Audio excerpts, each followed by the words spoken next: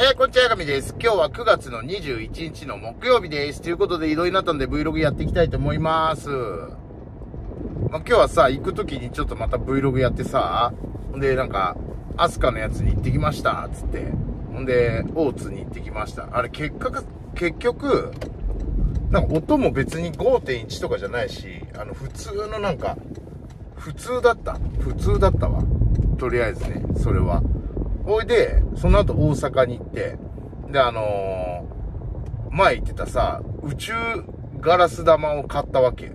すげえ結構高くてさ、めちゃくちゃちっちゃいのにめちゃくちゃ高くてさ、なんか思ってたのとはちょっと違ったんだけど、でもなんか欲しかったから買ったわけ。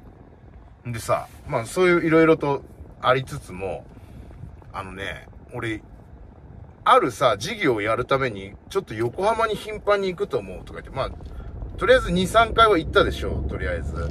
で、その都度さ、いろいろ話をしてたんだけどさ、まあ、まだまだあの、情報が入らんなというか、まあいろいろ話はしてたんだけど、なんかうまいこと、情報が入らんなと思っとったわけ。そしたらさ、昨日ですよ。めちゃくちゃいい出会いがあってさ、まあその辺のこともめちゃくちゃ詳しいし、なんかとにかくめちゃくちゃいい出会いがあったわけ。で、まあだから、もう横浜じゃなくて、俺ちょっと、今度は頻繁に大阪行かなあかんなって、今は思ってるわけ。だからちょっと今忙しくてさ、今週来週はちょっと行けそうにないけど、また再来週ぐらい、10月入ったらすぐもう一回行こうかなって思ってるぐらいなわけ。俺もうこれだと思ったらもうそこめちゃくちゃ行くからね、とりあえず。だから、ちょっと今これだって思ってるような出会いがありました。で、でさ、その人がさ、あの、まあ、占いのことがめちゃくちゃ詳しいし、その占いビジネスのこともめちゃくちゃ詳しいし、ほんでなんかすごい、俺と境遇が似ててさ、まあ、その人全然もう60何歳って言ったから、あれなんだけど、でもお店やってて、すごい打撃食らって、とか、なんかもうそういう人生的にも、すごい話がさ、できる人でさ、俺これ、この人だわってマジで思うぐらいの人だったっけ。んで、その人はさ、すごい、すごくて、なんかマジックができるわけ。その人はね。ほんでさ、マジックをさ、見してもらったんだけど、いや、もう、マジックじゃないわけ。もう、超能力なわけ、マジで。じゃ、本当にさ、これ俺ゲストで名古屋に呼ぶもんでさ、マジで見てほしいんだけど、いや、なんなら大阪に行ってもいいけど、めっちゃ、本当にね、びっくりした、俺。なんかよくテレビとかでは、やっとるようなことなんだけど、あのさ、俺の手のひらに、500円玉が2枚あるわけ。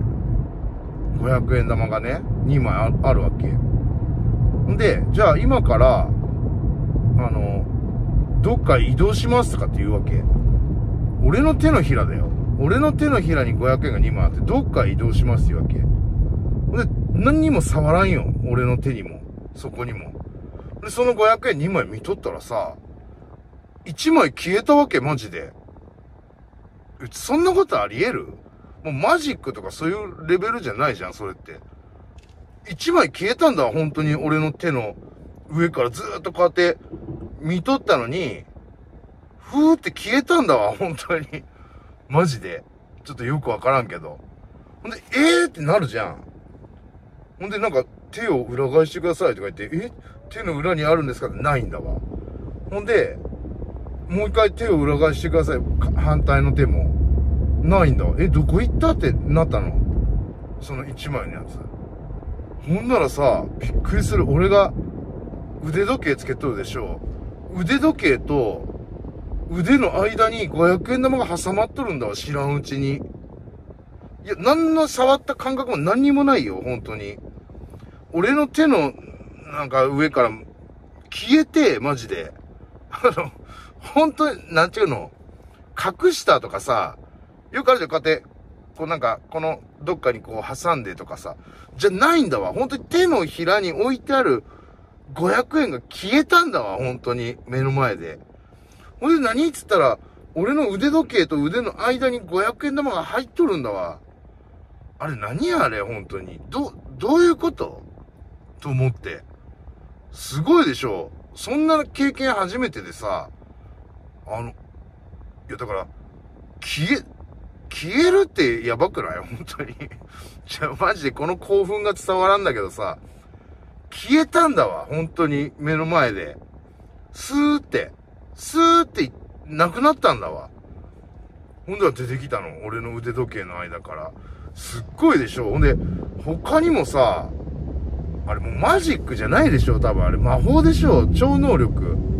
っていうやつをいっぱいやってくれて、なんか、なんかあるじゃん。トランプとかでもすっごい不思議だけど、まあなんかあるんだろうなって思うけどさ、ちょっとさすがに500円玉が俺の手をずーっと見とったところからスーって消えてったのは、ちょっとマジでビビった。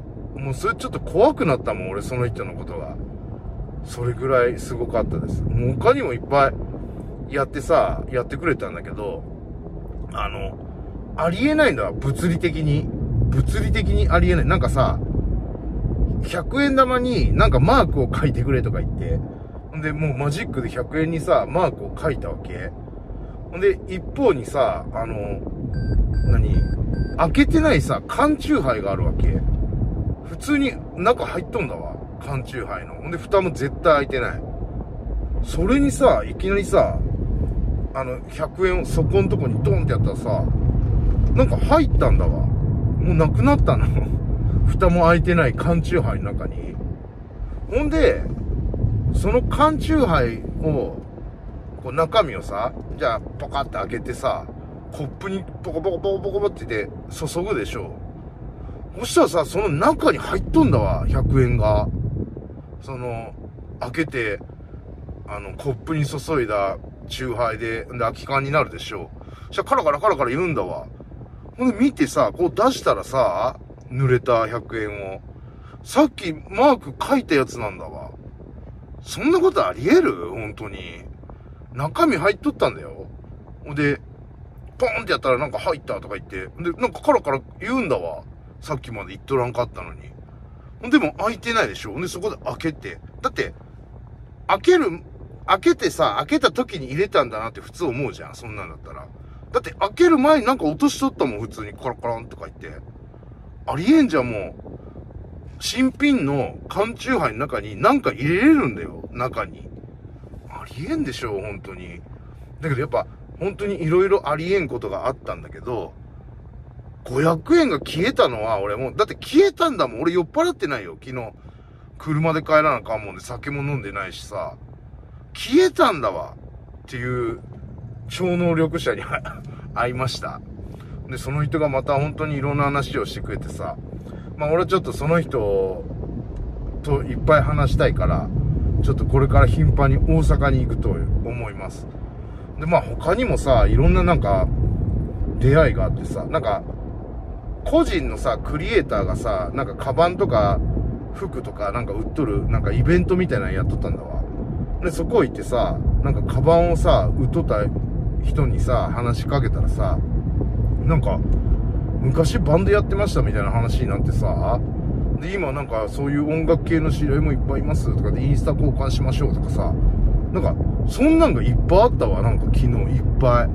ちょっとね、語り尽くせんぐらい大阪ではいろんな経験をしてきましたよ。だから、まあ何が言いたいかって、やっぱ動かなあかん。本当に動かなあかんっていう、つくづく思った日でした。そんな感じで。まあ、今日はね、まだちょっと編集がいっぱいあるもんで、今から帰って編集します。そんな感じで最後まで見ていただきありがとうございました。チャンネル登録よろしくお願いします。ありがとうございました。